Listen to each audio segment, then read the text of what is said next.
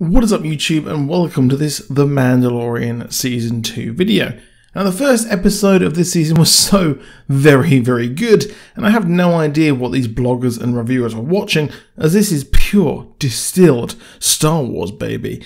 Now there will be spoilers in this video, so please be warned and if you enjoyed it, please do consider subscribing with notifications on to never miss a video and also dropping a like down below. It does help us out massively with visibility on this website. So throughout the episode we had massive hints that the Mega Chad himself Boba Fett had survived his trip to the Sarlacc pit as he fell in it in Return of the Jedi. Of course, throughout the history of Star Wars, Boba Fett has had a few different returns, and it seems like they're hinting at something at the very least. Of course, Timothy Olyphant's character Cobb Vanth, aka the Marshal, was wearing Boba Fett's legendary armor and revealed that he bought it off of a group of Jawas. Now, in the expanded universe, your boy Boba escaped, but his armor was actually stolen by Jawas, and then obviously, presumably sold to Cobb Vanth. Well, we even saw a shot of someone at the end of the episode who looks like Boba Fett. I say looks like as while all the evidence points towards Boba Fett, I want to point towards a different idea I had while watching Heavy Spoilers video on a similar topic, and do check out that video after this and tell him I said hi. So while the evidence does point towards Temuera Morrison playing Boba Fett, it's not confirmed, really, so that leaves room to play with a theory. So who could he be playing here?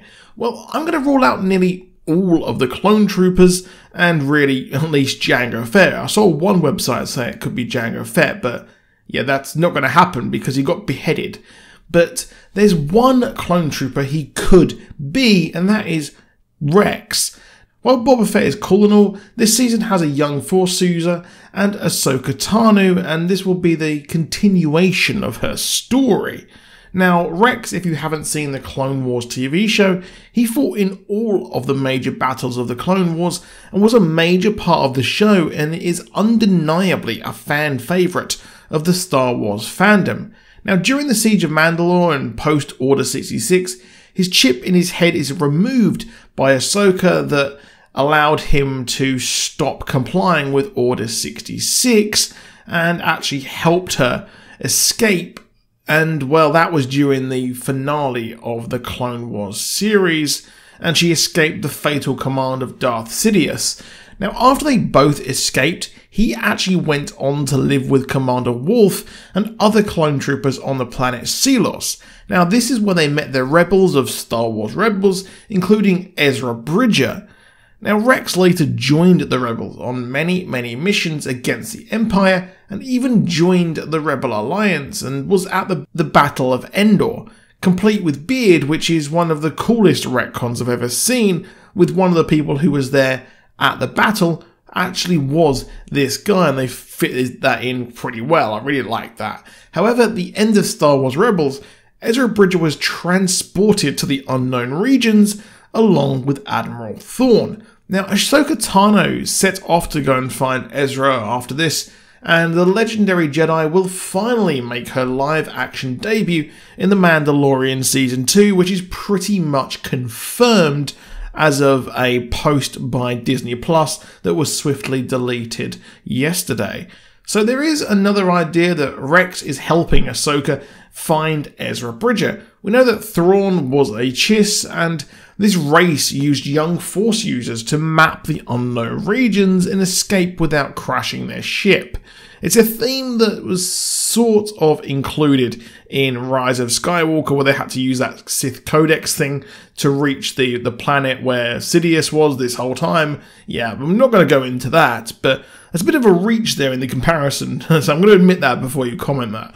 Now we know the child is stupidly powerful, and the remnants of the Empire are looking for the child as well, and they would no doubt want to use him to find Thrawn in these unknown regions and then go on to create the First Order, as we know that the villainous sequel to the Empire were born in the darkest depths of space.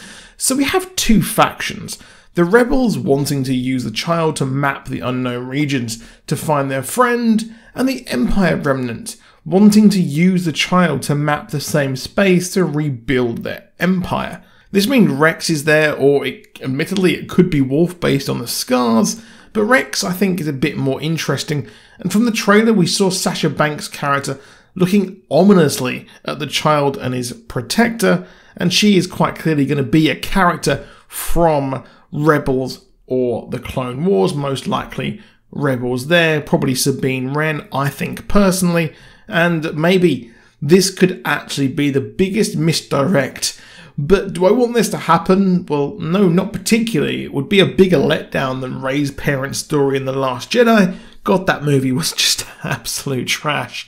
And before you comment wrong and no, it's just a bit of a fun, a bit of fun to speculate on this. I've seen quite a people, quite a few people do actually say that this might not actually be Boba Fett, but yes, it all points towards Boba Fett. But I just wanted to present a different idea to you there. But if I was a betting man, I'd say that that is the greatest bounty hunter we've ever seen.